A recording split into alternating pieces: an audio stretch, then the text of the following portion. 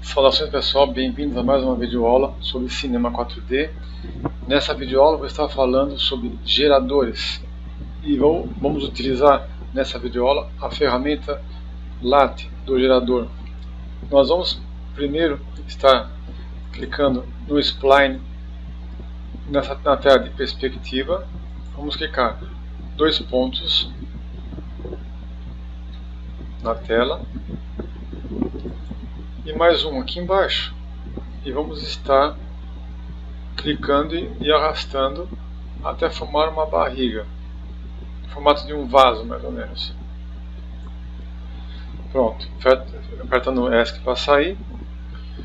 A ferramenta LAT ela tem a função de estar sempre complementando o objeto que nós estamos é, contornando certo? no caso aqui metade de um vaso seria temos que fazer a outra metade e a ferramenta ela vai estar fazendo a simetria desse contorno aqui. Vamos clicar em cima do cubo verde aqui na função lat e arrastando o spline para o lat. Como vocês podem ver, tem a setinha preta para baixo indicando que eu estou arrastando e já posso soltar. Soltei. Pronto, como vocês viram aqui, foi, foi feito um vaso com um pouquinho maior a, a abertura em cima, mas podemos estar alterando isso com a função de escala, alterando de acordo com o que a gente deseja, podendo diminuir aqui embaixo, cima, descer um pouquinho mais, Pronto. Fizemos um vaso com a função lat. É bem prático a gente poder fazer essas coisas, pessoal, e podemos colocar outros objetos, fazer outros objetos. Vai muito da criatividade de cada um poder desenvolver o que bem desejar, tá ok? Temos um outro processo também que a gente pode estar utilizando a função lat, eu vou estar apagando aqui e fechando aqui um pouco. E vou estar entrando, apertando F4 ou na tela de front, tá? Para poder colocarmos uma figura aqui, para podermos estar contornando essa figura já coloquei a foto aqui na área de trabalho e vou arrastar o front aqui. Beleza. Só lembrando, pessoal, a foto que está aqui no front, ela pode estar aqui também no top ou no right. Na perspectiva, ela não consegue gravar a foto aqui. Não consegue colocar a foto aqui. Então, temos que utilizar no front para podermos colocar os pontos depois ali, no, na perspectiva. Então vamos fazer o seguinte. Vamos diminuir o zoom aqui e vamos clicar na ferramenta Pen. Logo no comecinho aqui, vamos estar fazendo pontos. Para podermos estar contornando o objeto em toda a extensão de uma parte dele, certo? Lembrando que o lat ele simplesmente ele complementa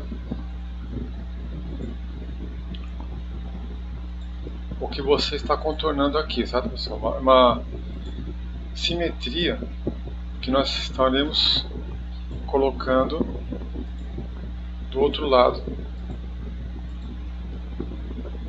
do contorno. Mais um pouquinho aqui. E pronto. Estamos no F4, vamos para a perspectiva agora. Vamos estar diminuindo o zoom, vocês podem perceber que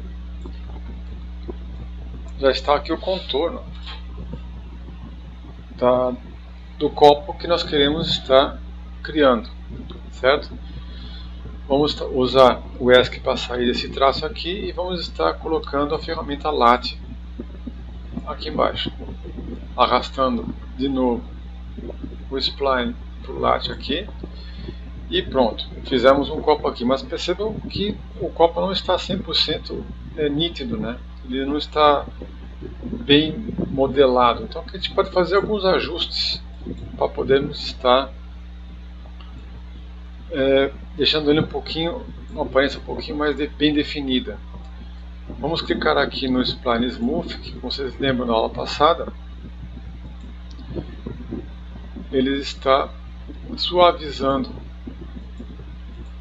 a, as linhas, certo pessoal? Então vai ficar uma coisa mais bem definida para podermos estar fazendo um copo. Vamos arrastar agora para cima. Vamos dar uma ajeitada aqui embaixo um pouquinho.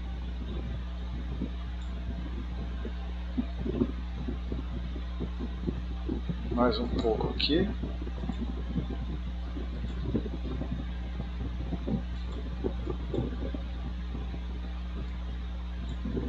Pronto.